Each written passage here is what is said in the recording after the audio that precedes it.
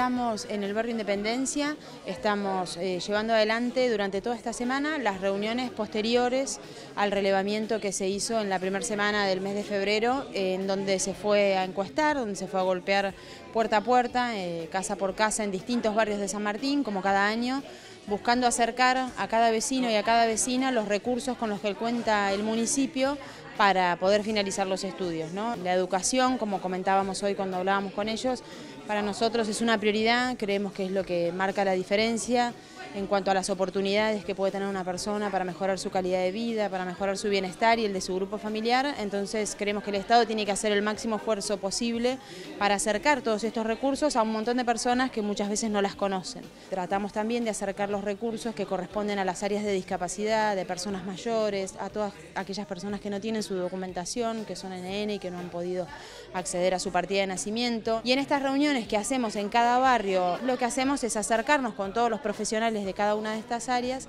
para poder asesorar a cada uno en forma personal. Y llegué por medio del municipio que pasaron anotando por mi casa. Pasaron un día por la mañana tocándome timbre y salí y me explicaron de qué se trataba el tema. Y me gustó, me encantó el, el tema, cómo me explicó la chica y bueno, me anoté y acá estoy para empezar mi secundaria. O la primaria la tengo completa me falta la secundaria y soy una abuela de 11 nietos tengo. Así que estoy contenta y re nerviosa, emocionada por lo que voy a empezar una secundaria. Es una nueva vida para mí, otra vez después de tantos años. Yo vine porque bueno, fue una de las chicas de acá eh, a casa y nos avisó que había un programa para poder terminar la secundaria o terminar la primaria, los que no pudieron. Entonces yo me acerqué para ver eso este, siempre que voy a los lugares me piden el currículum y si tengo la secundaria completa. La primaria y la secundaria, siempre me están preguntando y bueno,